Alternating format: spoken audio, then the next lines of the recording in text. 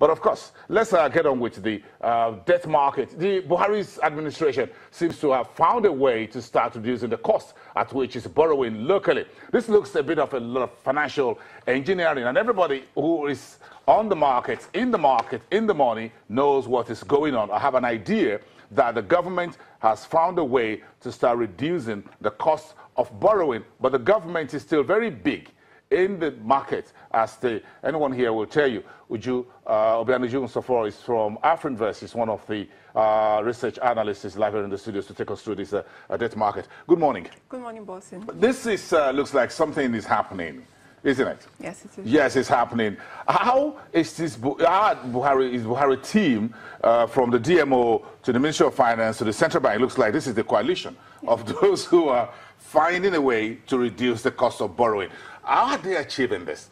Well, um, definitely, it's not news that the um, federal government is currently embarking on a borrowing spree in order to fund the 2017 budget deficit of about 2.4 trillion naira. I mean, looking at the breakdown, um, the um, government plans to borrow about 1.2 trillion naira domestically and about 1.1 trillion naira um, from external sources.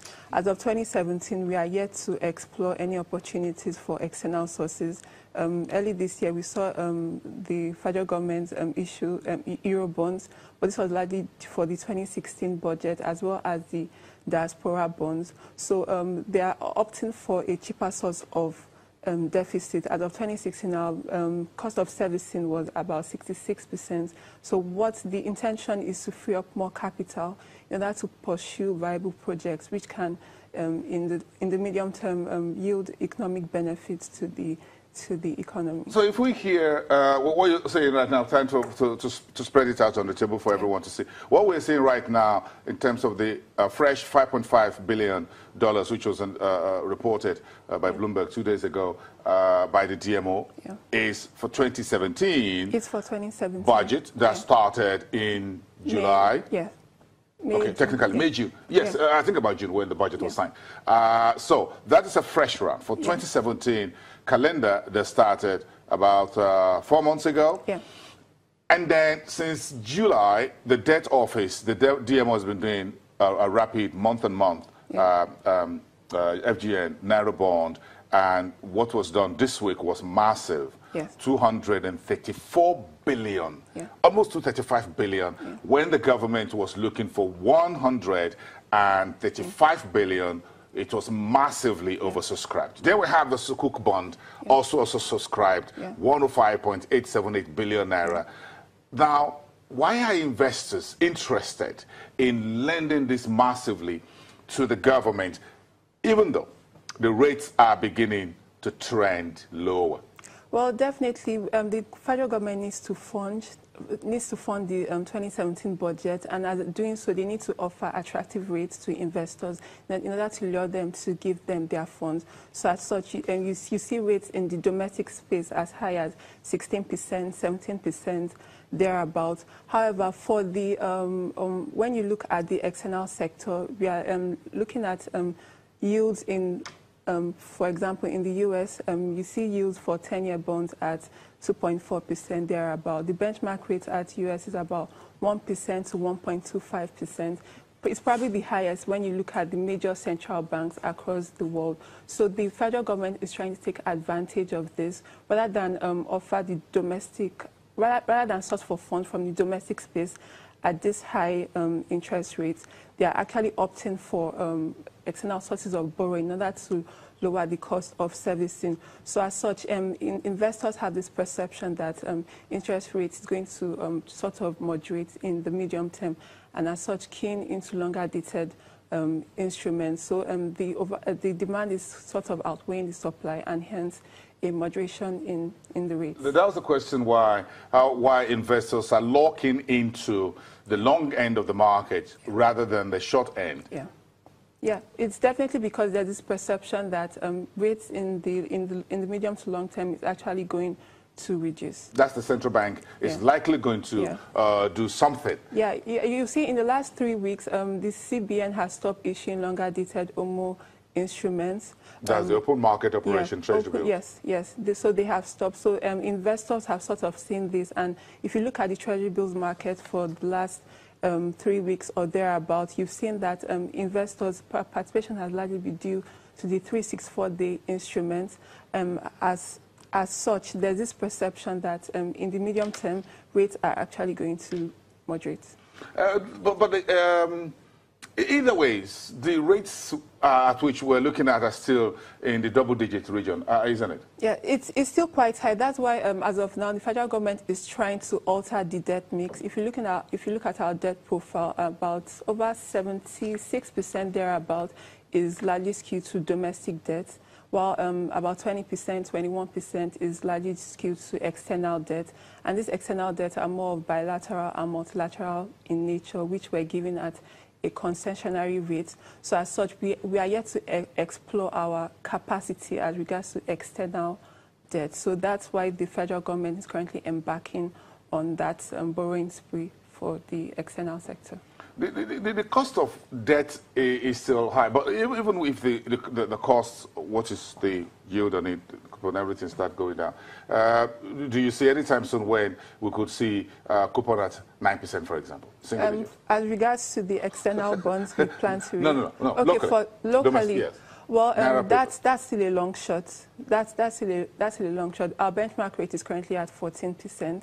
I mean, OMO yields are currently at 17% um, thereabouts. So it's more, it's unlikely that um, anytime soon we would see them get to as low as 9%.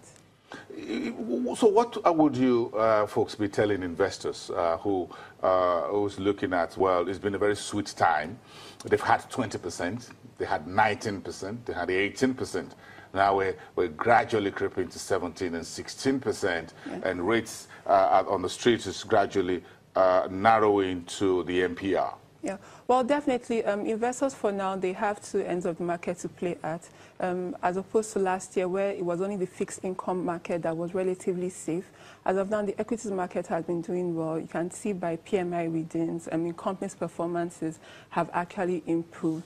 As such, investors can actually take advantage of um, stocks that have been beaten down for the last couple of months or thereabout and actually play in that sector or continue even at 17% in for um, short-term instruments, OMO and T-bills is still quite um, an, a, an attractive rate. So investors have the option of actually playing in the equities market or in the fixed income market. Uh, we, we, we, I'm not sure if you agree, but almost everyone on the street thinks that the government is overborrowing. Well, um, the the question has to go back to why are they borrowing? I mean, we fell short of our target, um, our revenue target in 2016, about, about 18% short, and as such, the government has to embark on a borrowing spree in order to fund the, the 2016 and 2017 budget. So as of now, our debt to GDP ratio is quite low, so you cannot actually say that um, they've actually breached any, any gap or not. And if you look at our debt structure, it's majorly skewed towards domestic borrowing. In the event of any crisis thereabout, they can actually print up more money. Worst case scenario, to pay up this, this debt. Our foreign debt, we are yet to explore um, opportunities there. So for, for now, it's, it, it's quite safe to say that the federal government is actually on, on the right course. Still on, still on track. Yeah. Uh, but but as, as yields begin to, to go down, yeah. uh, for those of you who have mutual funds yeah. and you've uh, locked in monies into these uh, uh, treasuries and bonds, uh, hoping that the good days will remain good. Now it looks like the government is dragging you, fund managers, and uh, PFAs, for example, insurance companies who are a little bit heavy, including banks, uh, holding these uh, um, uh, bonds into uh, what you call this cost-saving uh, room, as it were. do you think it will have any major impact on, on, on this mutual funds and other assets that are tied to these bonds and treasuries as the yield on them begin to, to lower? Well, definitely. What's, what's this um players in this end of the market are looking for are returns. So um, this is going to translate into a, re a, reduction in their returns. But thereabout, we need to look about, we need to look at the bigger picture. I mean, we are currently in um, we, we need to get ourselves out of our current predicament. And as such, the federal government has set um, us on the right course in order to um, pursue an exp expansionary budget in order to take us out of our current predicament. So looking at the, at the bigger pic picture as such. Yeah, but again, if, I, if I'm the one that has money there, I'm going to be a little bit worried. Uh, because if I had planned for 20% for 2017, here we are in September, ending uh, entering into October, and I see my rates coming to 16% or 17%. And when I thought that initially, I'm really, really way ahead of inflation at uh, 60%. Now, this is where rates are. Uh, this is not, is not going to, uh, I'm going to look at the government again and say, hey, I'm not too sure I like this, how the way this, this are going. But how, in, in, in, view of this, do you think uh, uh, investors, portfolio uh, investors and others will begin to um, reweigh their uh, assets um, uh, mix in terms of whether they should go a little bit more into stocks uh, where there's a bit of a liquidity, even though bonds and treasuries look uh, is a lot more safer.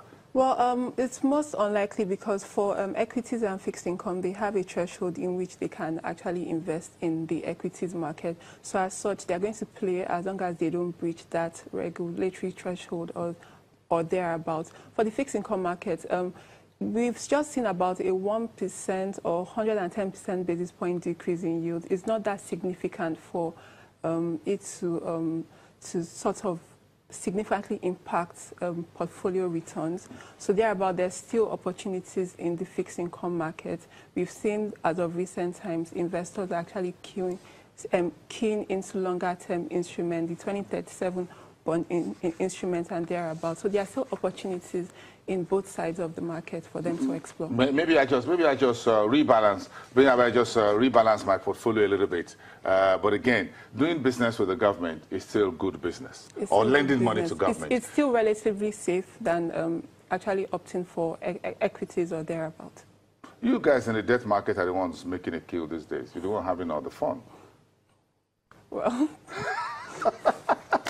Uh, just as everybody's getting out of, of, uh, of, of, a contraction, you folks are still uh, smiling. Uh, that's, that's very interesting. Thank you very much for coming. Thank we you. appreciate that. Uh, Uju, and see you at the other side in the new month right. of uh, October from Afrinvest Research Analysts.